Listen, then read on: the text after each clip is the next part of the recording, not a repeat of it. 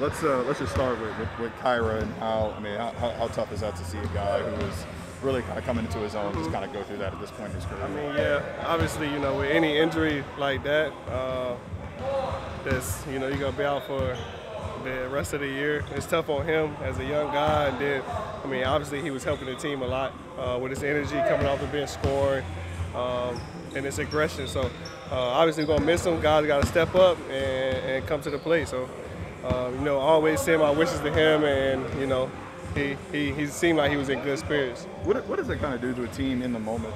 Uh, it, it, seemed like that was one of those injuries that you knew right away. Mm-hmm. Um, like, how, how, does that affect you guys like in the in the moment when you're you're thinking about that when you're, oh, I got to go finish this game? Yeah, I mean, I I kind of when he fell, I kind of figured that you know it was something serious. You obviously wish it's not. So I mean, you try to tell yourself, you know, hopefully he'll be all right and you know, you just want to try to focus and go back out there and play, but you know, it's kind of in the back of your head. But as far as the uh, the turnovers against Denver, what did you feel like? Where did you feel like the issues occurred? Uh, I mean, just like what we've been saying all year, you know, we be shooting ourselves in the foot sometimes. Um, things that are controllable, you know, like me, Billy, we just threw the ball out of bounds. Two, there's two turnovers where we could have had, you know, uh, possession and you know potentially scored um, and it would have been a different outcome. So, um, you know, just controlling what we can control, which is our turnovers. You know, obviously we're gonna have some turnovers, but keep it to a minimum. You can't beat, you know, playoff teams like that, or be be put yourself in a position to win with 25 plus turnovers. Um, you guys like third quarter in Denver, you guys, you know, like swarming defense. Like you guys have just had moments in games where the defense looks really, really good. It just seems like there's kind of like a, a both. What is it just going to take to I guess, be a little bit more consistent on, on that end of the floor. Or offense? Uh, defensively. Uh, I mean, I feel like we, we play really good team defense. You know, everybody's in position to help each other. Um, the game plans that coach, the coaches and them give us, we be, you know, we be locked in and, and doing it. Um, like I said, I think it's just those turnovers. You know, uh, we play hard on defense. We don't give it our all, uh, but offensively, you know, we got do do a better job of giving ourselves a chance. We always see Herb working on his shot after every practice and shoot around. Um, I think he had a career high in scoring again the other night against Denver.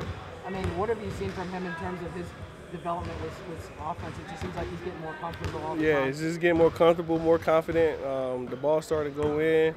Um, like you say, he's working on his jumper uh, every day. So um, you love to see it. You know, it's, it's, he's putting in the work and it's paying out for him. So um, just keep shooting it with confidence. That's what I tell them. You know, let it fly. Anytime you open, you got to shoot the ball so teams will respect it, and then it just opens up other things for them, driving and dunking and passing, and I mean, so. He had a nice dunk. He had a nice dunk over. Uh, over Jokic, yeah, I seen it. It was top ten play. It was nice, it's real nice.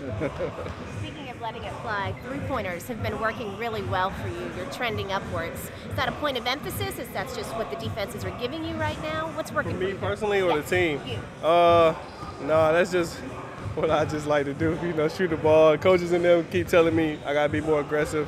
Um, trying to hunt shots. Uh, sometimes I get in a passive mode, or you know, I kind of get relaxed and not too aggressive. And uh, Coach Green had just talked to me about you know you know, trying to hunt more shots and, and looking to be more aggressive scorer.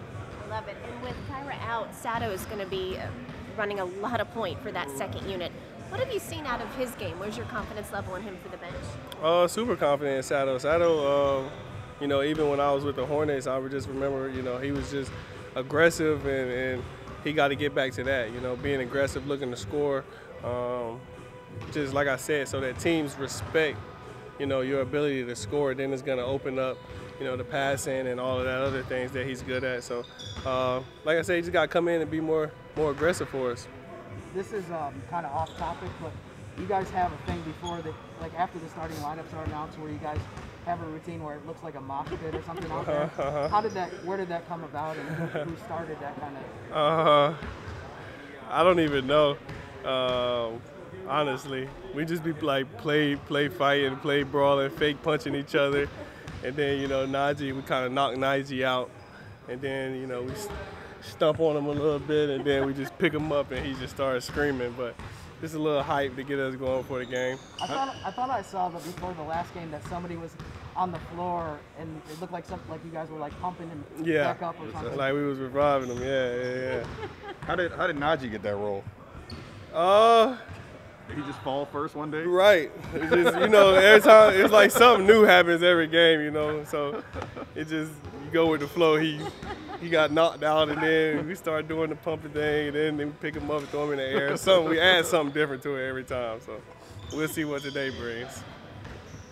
Thank you.